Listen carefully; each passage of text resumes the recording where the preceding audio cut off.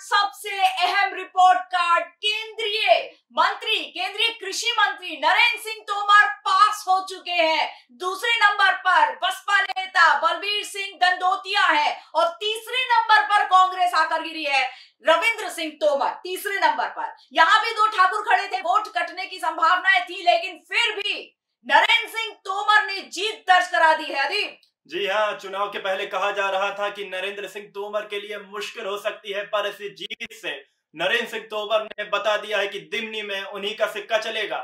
बिल्कुल, जीत मुश्किल इसलिए कही जा रही थी क्योंकि उनके बेटे के कल वीडियो वायरल किए गए थे, जिसके बाद नरेंद्र सिंह तोमर को हारा हुआ लोग मानने लगे थे, लेकिन नरेंद्र सिंह तोमर एक कद्दावर नेता है, बेहद राजनीति के चाणक्य कहे जाते हैं। नरेंद्र सिंह तोमर एक ऐसे नेता है जिनको हरा पाना फ़िलहाल किसी के बस की नहीं है। कांग्रेस तीसरे नंबर पे है। नरेंद्र सिंह तोमर ने चौसठ वोटों से अपनी जीत दर्ज करा ली है।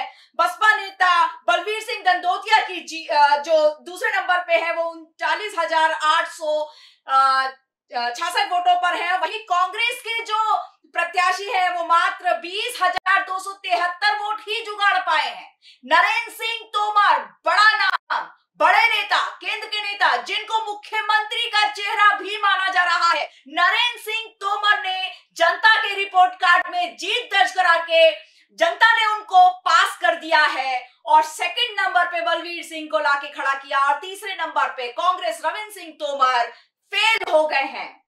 पास हुए हैं नरेंद्र सिंह तोमर, केंद्रीय कृषि मंत्री। बहुत बड़ी जीत है, बहुत बड़ी जीत है और इससे सीट के ऊपर सबकी अपनी नज़रें थी और नरेंद्र सिंह तोमर लगता है कि एक बार फिर से अब मुख्यमंत्री का क्या वो चेहरा बन पाएँगे, ये देखना पड़ेगा। ये बेहद अहम रिपोर्ट कार्ड था, जो हमने आपके साथ साझा किया, हमारे साथ यू ही जुड़े रहे